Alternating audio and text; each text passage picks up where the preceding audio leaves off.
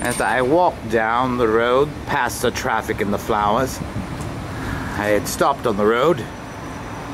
Such beautiful flowers, so two dimensional.